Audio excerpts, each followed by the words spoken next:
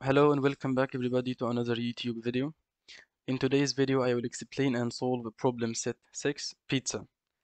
So in this problem we want to implement a program that expects uh, only one command line argument, the name of a CSV file in uh, Pinocchio's format and outputs a table formatted as ASCII art using uh, a package called tabulate. So here we have uh, two CSV files to test uh, on. And let's start here with importing uh, the package tabulate. And let's also import sys since we are going to uh, use the command line arguments. And let's also import CSV to read these files and uh, work on them. So first um, let's take uh, or let's check for a command line argument so let's uh, first check if the user inputs uh, a command line argument. So if the length of the arguments are equal uh, to 2 uh, because the name of the file is also stored. So if that's the case, we want to try uh, and open uh, the file, which uh, is the command line argument the first the second command line argument. So one and open it as file. And uh, let's now use the CSV uh, package to uh, to read our uh, file. So let's make a variable called reader and use csv dot dict reader and pass in the file. So um, uh, this dict reader uh, uh, stores stores the uh, the data in the reader uh, variable uh, in a format like it's a dictionary and the values are the first row here. So actually let me just print uh, every element in this uh, variable reader just to make to be clear. For uh, row in reader let's print the row. Okay I want I would just want to, you to have an idea of how the data is stored. Okay uh, sorry. Let me specify uh, a file so regular.csv Okay, we are doing something wrong. Oh, my bad here. We didn't complete, sorry. Uh, we didn't uh, add except, so except if the file uh, is not found, uh, let's exit and uh, print a message, uh, file not found.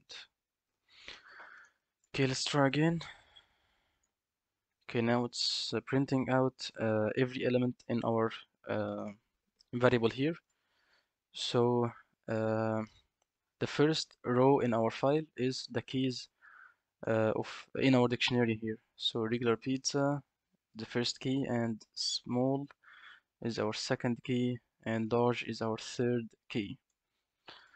So now after reading uh, the data in a variable, we want to uh, use this uh, package here to print it in a format like this. Okay, let me print it out. I'm not sure if I can print it. Okay, I can actually.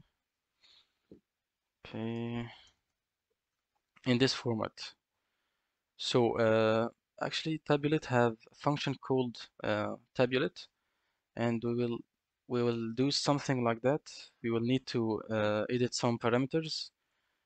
Okay, but let's first remove this for loop and uh, use uh, uh the tabulate um, package. Okay, so let us uh, make another variable called table and we will store or actually we don't need to uh, make another variable. Let's just call the function and uh, and print it. So print and tabulate dot tabulate. So we need to pass in the data that we are going to uh, put in our table. So let's pass in reader okay before editing some parameters let's see what uh, this uh, will output. So as you can see it's not really uh, as the format that we want. And if you also notice the first row is removed which is here the regular pizza and so on. So uh, there is a parameter here called header.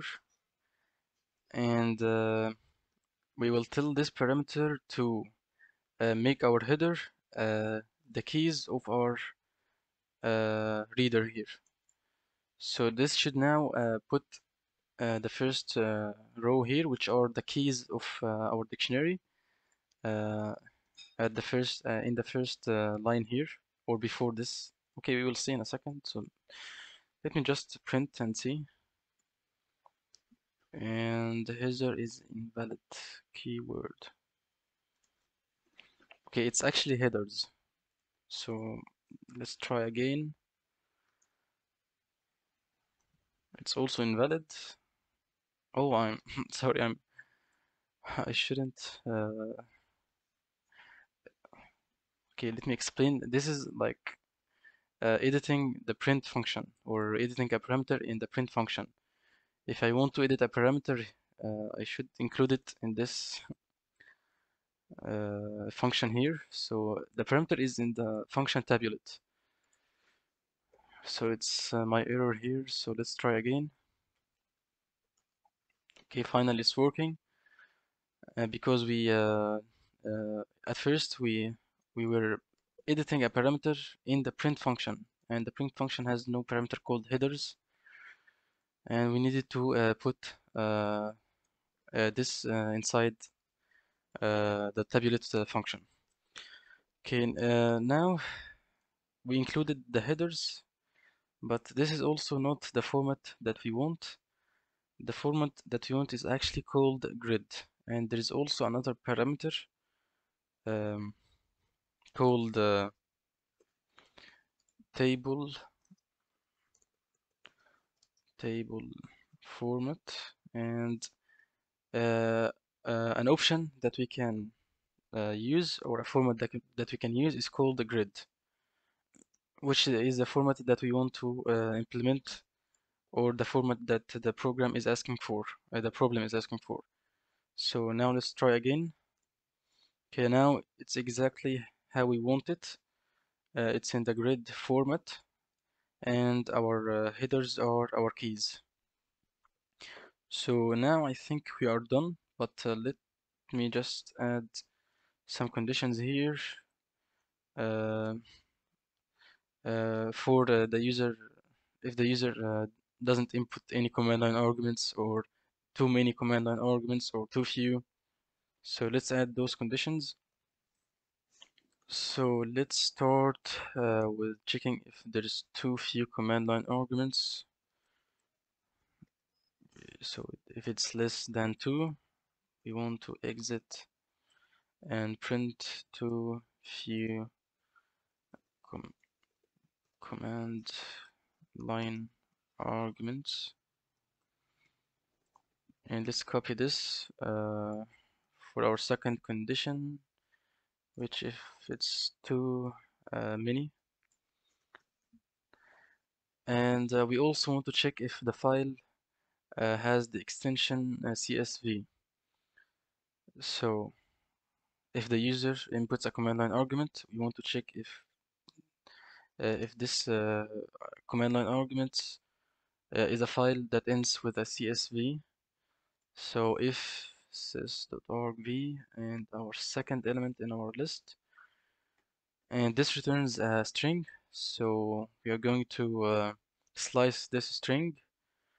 Uh, so we are going to slice the last uh, three characters.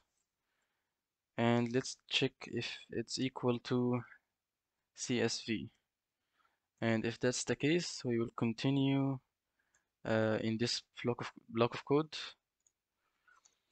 And uh, let's add another condition here. But in the in this if statement not outside uh, which checks if it's not like that. So yeah we can actually just uh, type else and sys dot exit not a csv file okay let's check if our if those are working. So let's not provide any command line arguments. Uh, this should output too few. Okay I forgot uh, okay sorry for that. Let's try again. Too few command line arguments. Let's uh, type too many. So okay too many. Let's provide a file without the extension and see okay not a CSV file. Yeah I think we checked for all. Uh, let's also check if uh, this is still working. And this time let's uh, test on this file here. So python pizza and uh, this file. Okay it's also working with the right format so we are done here. So yeah that's the end of today's video. Thank you for watching. Don't forget to leave a like and subscribe to the channel and see you next time